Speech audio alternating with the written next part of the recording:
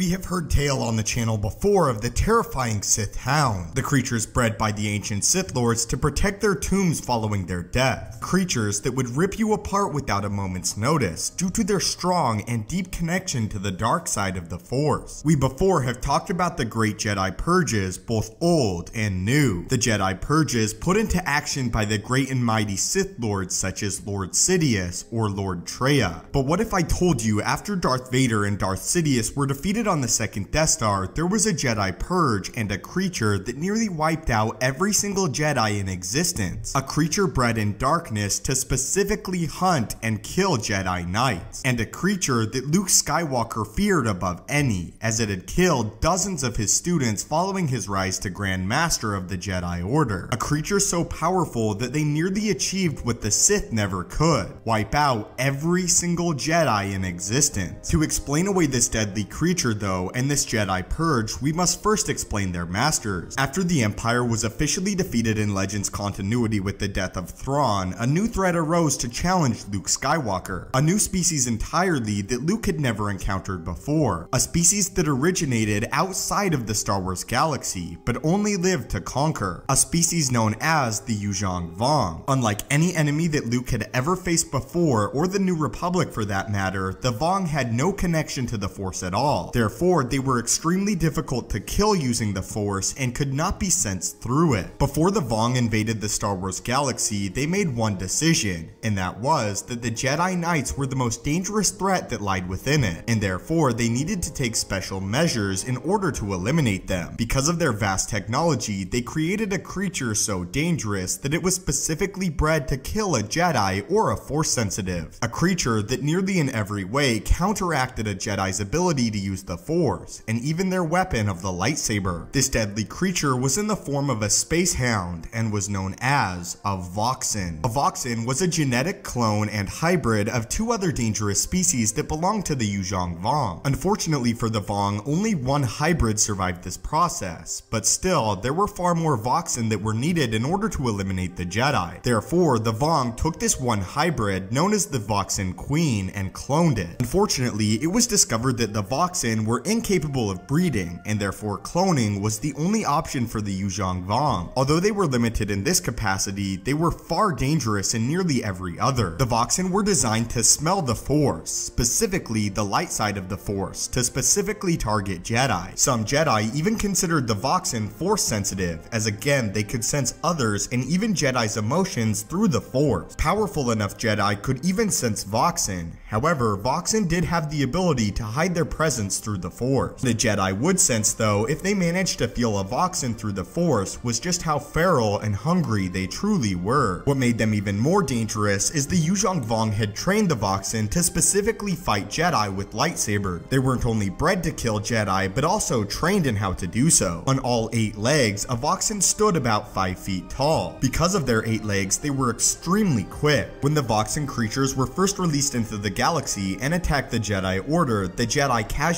were huge, and of course this proved to be a massive concern for Jedi Grandmaster Luke Skywalker. The Voxyn, Yuuzhan Vong monsters, Jedi killers. Stay away from anything that looks like an eight-legged reptile far away. These things spit acid and screech blast waves. Maybe they can even do worse. A Voxyn was extremely durable, immune to most blaster fire and even grazing strikes from a lightsaber. Although, if placed correctly, a lightsaber strike would in fact kill a Voxyn, as they were not invincible. Luckily for a Jedi though, a Voxyn's lifespan was not very long, as they died just mere weeks after their birth. They were still dangerous though, even in the vacuum of space, as they were nearly immune to it if they formed a cocoon large enough to hold them, and if they went into a state of hibernation. What made them exponentially more dangerous to a Jedi than any other creature though is that even if a Jedi Master diminished their presence in the Force, a Voxyn could still sense them. That means in the time of the Empire, Jedi such as Obi-Wan Kenobi and Yoda could still potentially be hunted down by a Voxyn, as no matter what, a Jedi could never fully hide their presence from the creature. Fortunately for the Jedi though, Luke Skywalker formed a special strike team that was designed to hunt down and kill the Voxyn Queen. This was due to the fact that if the Voxyn Queen were to be killed, they could not reproduce due to the cloning aspect needed for the Voxyn species. Although the strike team resulted in massive casualties, they did did eventually destroy the Voxyn Queen, and therefore the cloning could no longer continue. Still though, there were still many Voxyn left at the Yuuzhan Vong's control, as they could not kill every single one of them. Over the rest of the course of the war though, the Voxyn species were diminished over time. The Voxyns became so rare and valuable to the Yuuzhan Vong that they would only use them in certain missions. Certain missions that of course had to do with encountering Jedi.